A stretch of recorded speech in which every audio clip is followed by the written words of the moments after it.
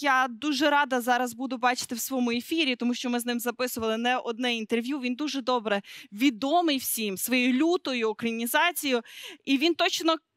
Точно казав, що по росіянам треба робити фаєр ще до того, як вони напали на нашу землю. Ви всі бачите зараз на екрані. Це Антін Мухарський, автор лютої українізації. Слава Україні! Героям слава! Пане Антіне, ви зараз, я так розумію, у Василь... Васильковці, так? Васильківці. Так, під Васильковим. Так Яка ситуація? наразі спокійна, гупає десь зараз в районі Бучі. Там, я так розумію, йде бій. Ніч була неспокійна під Васильковим, тому що ми на власні очі бачили, е, як е, ДРГ російські подавали одне одному знаки за допомогою ракет. Бачили навіть їх десь на відстані 300 метрів ліхтарики. Як тільки ми заворушилися на блокпості, вони згасли, і ми передали цю інформацію вже професійним військовим, які мають знищувати ці дерги. Ну а десь пів першої гупнуло, прилетіло от прямо тут від тої станції, що горить. Ну, кілометрів 10-15, напевне. Я просто стою зараз проти сонця, а отам, от в тому боці, якщо видно, отам, от, отам от хмара. видно. Видно хмару, так? Видно хмару. От, оце от якраз та хмара, яка була цілу ніч палала над Києвом. Ми навіть думали, що то такі спеціальне, щоб е, подати знак, бо тут поруч знаходяться аеродроми. От, і літакам зручно на них орієнтуватися, особливо коли таке палає. А літак минулої ночі збили теж тут е, під Васильковим, Іл-76. Ну кажуть, що чотири москаля вижили, їх взяли в полон. Але я так розумію, що вже призвичаїлись збивати літаки, і хоч таки сьогодні палало, жодна падла не прилетіла на Васильковські аеродроми. Бояться, суть вже. От. А ДРГ гуляють, ходять. І навіть що приємно, що знаєте, е, місцеве населення прості, прості люди, навіть не, не мисливці, навіть не е, активісти тероборони, а просто люди, які бабуськи, вони ходять вночі по вулицях, і в разі чого мають телефони е, керівників тероборони і надають дані про те, де спалахнула ракета, де вони чули. Бо бувають, е, кажуть, що я от не бачив, але кажуть, що ДРГ висаджується з гвинтокрилів. Хоча гвинтокрили чутно, ну тут просто довкруж повно сіл, сел, і напевно вони скидують ДРГ десь там над лісами, і от вони лісами пробираються сюди до Києва. Пане Антіне, ви знаєте, коли ми з вами останній раз е, зустрічалися, це було у Львові е, книжковий форум. Так, ми тоді Так. говорили. Ага. Ми навіть не могли з вами уявити, що в Україні почнеться війна, що таки росіяни, окупанти наважаться піти на нашу землю. Але е, то, що вони точно не сподівалися, що ми дамо такий відсіч всією країною. Особисто для вас це теж стало такою приємною несподіванкою. Чи ви знали, що в разі відчували, можливо, що в разі небезпеки українці готові разом боронити землю? Ну, знаєте, я не хочу там вішати собі лаври пророка, але завжди намагався усюди цю власну тривогу передавати, що Росія екзистенційний ворог на рівні життя і смерті, або ми, або вони. От і відчуття того, що вони можуть поперти, і буде велика війна, мене ніколи не полишало. От люди намагалися всяку ту тривогу притлумити.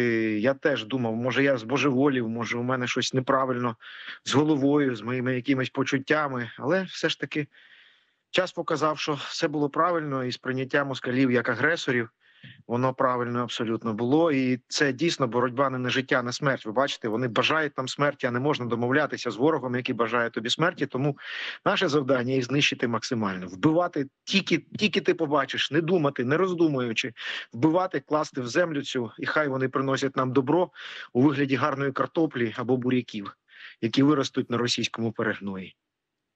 Ну, вже є оце навіть дуже багато ілюстрацій. Якщо можливо, я попрошу, аби під час ефіру режисери показали, зокрема, ілюстрацію е, Юрія Журавля, лідера гурту Атвінта, так тому що була розмова мирної жительки з російським окупантом, який їв е, соняшникове насіння, яке дав на землю, і вона йому чітко розказала, що з ним буде на цій землі. Але, пане Антіне, е, ви. Ви запровадили цей процес люта українізації. Ви, як ніхто, говорили про те, що мова вона визначає, хто ми.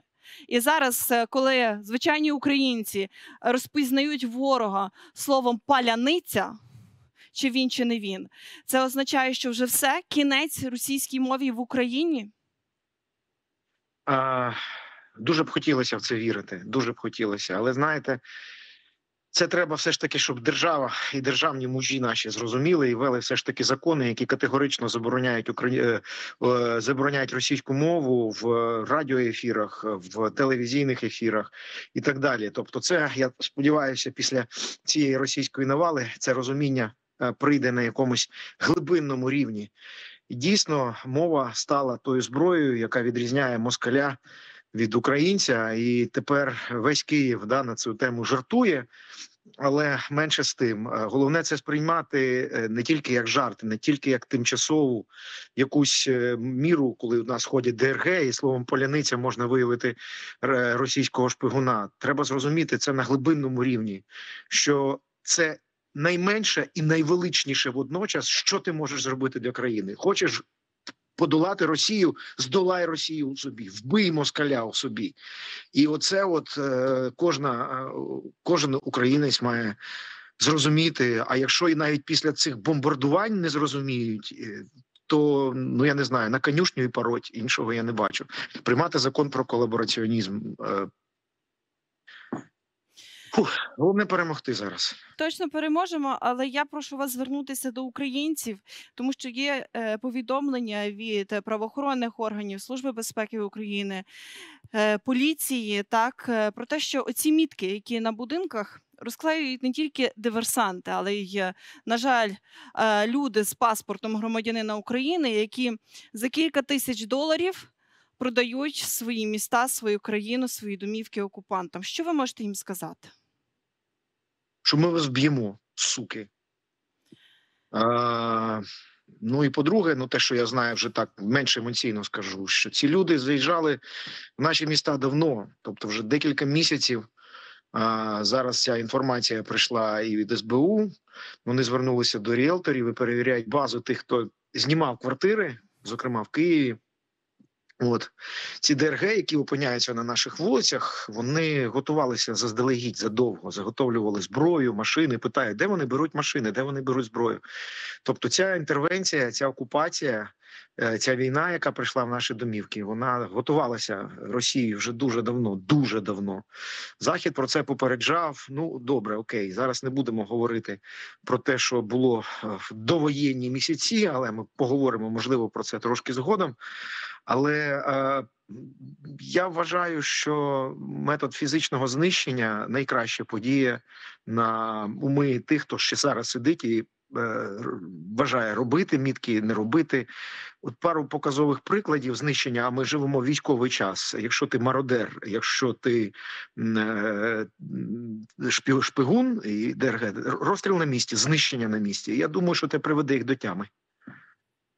Пане Антіне, ще прошу вас кілька слів. Е, таких бадьорих, мотиваційних для всього українського народу і для наших хлопців Збройних сил України, якими точно вже навіть і на небі захоплюються.